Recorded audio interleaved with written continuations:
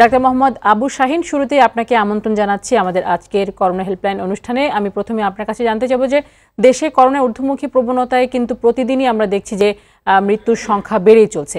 কেবলমাত্র রাজধানী নয়, করোনার এই প্রকোপ ছড়িয়ে পড়েছে দেশের প্রান্তিক পর্যায়েও। এভাবে চলতে থাকলে আসলে শীতে করোনার কী ধরনের পরিস্থিতি দাঁড়াতে পারে? ধন্যবাদ আপনাকে আর টিভির এই প্রোগ্রামে আমন্ত্রণ জানার জন্য।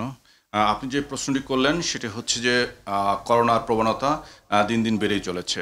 হ্যাঁ কথাটি একেবারেই সঠিক। গত এক মাসের জরিপ যদি আমরা করি, ডাটা যদি দেখি, আমাদের প্রতিদিন সরকারি রিপোর্ট বা অন্যান্য যতগুলো আমাদের সোর্স আছে, সেখান থেকে যদি আমরা দেখি আজকেও বাংলাদেশে মৃত্যুর হার সরকারি হিসাব অনুযায়ী থার্টি সিক্স এবং আজ পর্যন্ত যদি আমরা হিসাব দেখি, মৃত্যুর সংখ্যা সাত হাজার ছড়িয়ে গিয়েছে। এবং আক্রান্ত সংখ্যা পাঁচ লক্ষের কাছাকাছি। মোরলেস ফাইভ লাক্স অর্থাৎ দিন দিন বেড়েই চলেছে এবং মৃত্যুর সংখ্যা এবং আক্রান্ত সংখ্যা দিন দিন অনেক বেশি হয়ে যাচ্ছে। এবং সেটি আপনি যেটা বলছিলেন যে ঢাকা শহরে নয়, বাংলাদেশের প্রত্যন্ত অঞ্চলেও এটা ছড়িয়ে পড়েছে। তো এইটির এটির কথা আসলে আমাদের সবারই জানা যে এভাবে চলতে থাকলে এই শীতের মৌসুম শুরু হচ্ছে, শীতটা আরও বাড়ছে, আজকের থেকে দেশে শীতের তীব্রতাটাও বাড়ছে। এতে যেটা মনে হচ্ছে যে আক্রান্তের সংখ্যা আরও বাড়বে বা মৃত্যুর সংখ্যাও আরও বাড়তে পারে। তো এটির জন্য যে সমাধান সেটি তো আমরা প্রতিদিনই আলাপ করেছি, সরকার আলাপ করছে, আপনারা বলছেন ডাক্তাররা আমরা বলেছি, দেশের বিভিন্ন সামাজিক সংগঠন কথা বলছে, কিন্তু কেন যেন মনে হচ্ছে যে আপনারা আপনারা জানেন যে এই করোনার জন্য চিকিৎসা তো আসলে তেমন কিছু এখন পর্যন্ত নাই ভ্যাকসিন আসছে আসবে। অনেকগুলো কোম্পানি ভ্যাকসিন নিয়ে বাজারে তারা ট্রায়ালও শুরু করেছে আপনারা জানেন। ইউকেতে শুরু হয়েছে আমেরিকাতে শুরু হয়েছে কানাডাতে শুরু হয়েছে। কিন্তু এখন পর্যন্ত আমাদের দেশের মানুষের জন্য মানুষের হাতে পৌঁছানো এখনও আমার কাছে মনে হচ্ছে যে যতই বলুক না কেন এখনও দেরি দেরি হবে। তো এটার জন্য আমি মনে করি যে আমাদের সতর্কতা যে আমরা যেটা প্রতিদিনই বলছি সবসময় বলছি এটা আমাদের আরও অধিকতর সতর্ক হতে হবে যাতে এইটা বিস্তার লাভ খুব বেশি না করতে পারে। জি একটু জানতে চাবো যে আমরা দেখছি প্রতিনিয়ত রূপ বদল করছে করোনা ভাইরাস।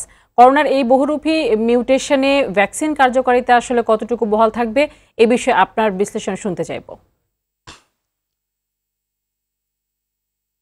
আচ্ছা আপনি যেটা চাচ্ছেন ভ্যাকসিনের কার্যকারিতা বা ভ্যাকসিনের রোল কতটুকু থাকবে যেহেতু যেহেতু এটা প্রতিনিয়তই পরিবর্তনশীল। সেই ক্ষেত্রে আসলে ভ্যাকসিনটা কতটুকু কাজ করবে? দেখুন করোনা একটি ভাইরাস কোভিড নাইন্টিন যে এই এই ভাইরাসটা নাইনটিনে দুই হাজার উনিশ সালে যেটা আমাদের এখানে উহানে প্রথম ধরা পড়ল, এর নাম হচ্ছে covid nineteen SARS CoV two ভাইরাসটা আসলে। এইটা অতীতে আগে যে ভাইরাসগুলো ইনফ্লুয়েঞ্জা ভাইরাসের কথাও যেমন আপনারা জানেন, যে ইনফ্লুয়েঞ্জা ভাইরাসের ভ্যাকসিন কিন্তু প্রতি বছরে বছর দিতে হয়। কি জন্য দিতে হয়? আসলে ভাইরাসটা কিন্তু শেপ চেঞ্জ করে। কিন্তু এইটার ক্ষেত্রে হয়তো বা একটু বেশি হতে পারে বা ঘন ঘন চেঞ্জ করতে পারে। সেটি কিন্তু আমরা কত ঘন ঘন চেঞ্জ করছে, কার্যকারিতাটা কতদিন থাকবে, এটা কিন্তু এখনও সুনির্দিষ্ট হতে পারেনি। কিন্তু আমরা আশাবাদী। আপনারা জানেন যে আমেরিকার মডার্না, ওরা কিন্তু যথেষ্ট সাইন্টিফিক উপায়ে তৈরি করেছে এবং গতকালকে ইউএস এফডিএ কিন্তু ওনারা অনুমোদন পেয়েছেন। তারপর ফাইজারের ভ্যাকসিন অক্সফোর্ডের ভ্যাকসিন তারা কিন্তু ফেস থ্রি ট্রায়াল করেছে। অনেকেই বলছে কতদিন কার্যকারিতা থাকবে, না থাকবে।